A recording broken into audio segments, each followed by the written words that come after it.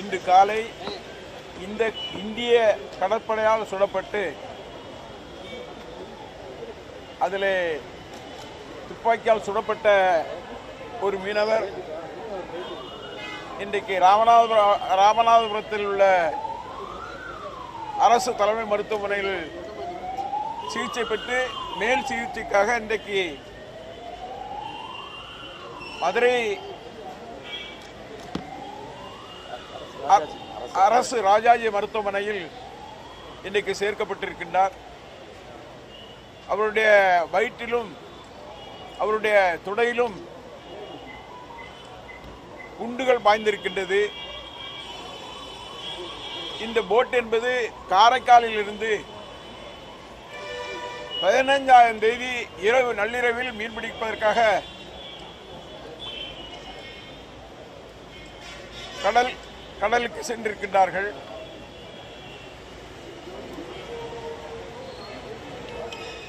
அவர்கள் இன்னைக்கு காலை பத்து மீனவர்கள் அதில் பத்து மீனவர்கள் சென்றிருக்கிறார்கள் அதில் ஏழு பேர் மூன்று பேர் காரைக்கால் பகுதியைச் சேர்ந்த மீனவர்கள்.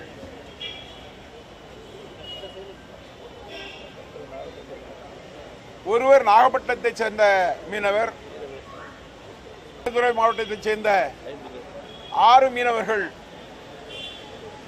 சேர்ந்து பத்து பேர் மீன்பிடிப்பதற்காக சென்றிருக்கின்றார்கள். திருக்குடா பகுதியில் மீன்பிடித்துக் கொண்டிருக்கின்ற போது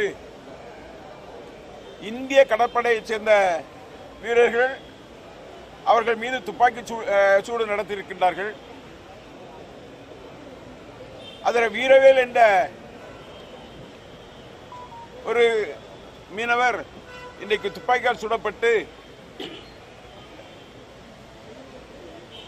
அவர் உயர் சிகிச்சைக்காக ராஜாஜி மருத்துவமனையில் சேர்க்கப்பட்டிருக்கின்றார்கள். அந்த மீனவர்கள் சு- சுய நினைவோடு இருக்கின்றார். அவரை பாதுகாத்து விடலாம் என்ற வகையில் இன்றைக்கு மருத்துவர்கள் சொல்லியிருக்கின்றார்கள். அந்த வகையில் என்ன சிகிச்சை செய்ய வேண்டுமோ அத்தனை சிகிச்சையும் செய்ய வேண்டும் என்ற வகையிலே தமிழகத்தினுடைய முதலமைச்சர் அவர்கள் ஆணையம் வழங்கியிருக்கின்றார்கள். எந்த வகையை பார்த்தாலும் நம்முடைய தமிழக மீனவர்களை நம் நாட்டைச் சேர்ந்த கடற்படை வீரர்களே துப்பாக்கி துப்பாக்கியால் சுடுகின்ற நிலை ஏற்படுகின்ற போது இது பெரிய வருத்தத்துக்குரிய விஷயமாக இன்றைக்கு மா- மாற்றப்பட்டிருக்கின்றது.